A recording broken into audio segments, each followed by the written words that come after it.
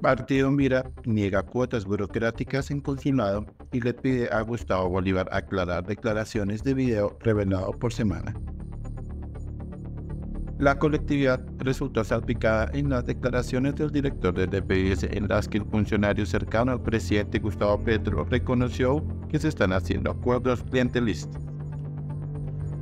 El Mira rompió su silencio en la mención a esa colectividad en los videos del director del DPS Gustavo Bolívar en los que el funcionario del gobierno Petro reconoció que la Casa de Nariño otorgó cuotas burocráticas en consulados a los actores políticos a cambio de respaldo a los proyectos en el Congreso.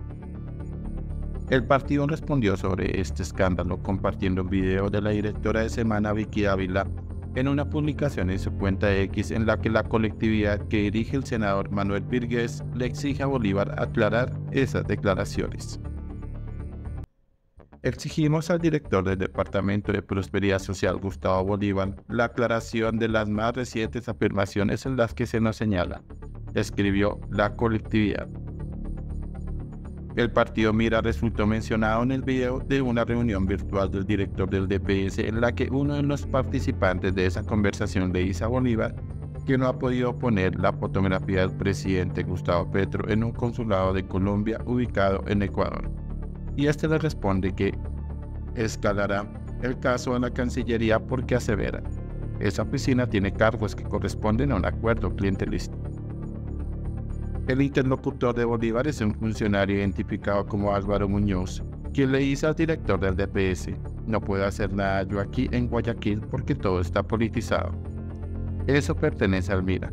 Ese cónsul que tenemos aquí en Guayaquil pertenece al Mira y todo lo cierra no hay cómo ingresar. Entonces no sé de qué manera poder hacer algo allí. Entonces Bolívar le responde, déjeme preguntar entonces con el canciller. Ellos están aquí en Cali, todos ahora.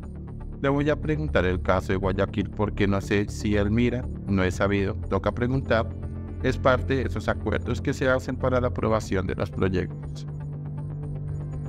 La conversación corresponde a los videos revelados por semana correspondientes a una reunión que había sucedido en un momento en el que los principales funcionarios del gobierno se encontraban en la capital del Valle del Cauca. Precisamente durante las dos últimas semanas de octubre, esa ciudad acogió la COP16, porque los ministros, directores de entidades y otros funcionarios estuvieron despachando desde allá. Sin embargo, Elmira niega tener cuotas burocráticas en el gobierno y le pidió a la Cancillería publicar la lista de nombres de los funcionarios que trabajaban en el Consulado de Colombia en Guayaquil, el despacho mencionado en el escándalo. Solicitamos al gobierno y a la Cancillería la publicación de los nombres y el partido al que pertenecen el cónsul y vicecónsul en Guayaquil, Ecuador. El partido Mira no ha tenido, no tiene ni tendrá cargos directivos en este gobierno. Nos hemos declarado en independencia, sostuvo la colectividad en un comunicado en su cuenta de X. Mucho se ha comentado de la entrega de cargos a diplomáticos a cuotas políticas de los partidos durante los gobiernos. De hecho, varios de los embajadores y cónsules más polémicos de esta administración son personas que han estado vinculadas a algún proyecto político. En ese escenario, la colectividad de bases cristianas se defiende señalando que su trabajo legislativo se ha enfocado en denunciar las irregularidades que ocurren en esas oficinas, encargadas de brindar atención a los colombianos que viven en el exterior. Hemos dejado constancia en el pésimo servicio consular a nivel internacional, por lo cual compartimos nuestro pronunciamiento en plenaria del 3 de septiembre de 2024 Finalmente, las posturas del partido Mira frente a las reformas presentadas por el gobierno han sido fruto del análisis riguroso y no son producto de acuerdos políticos transaccionales, sostuvo el partido.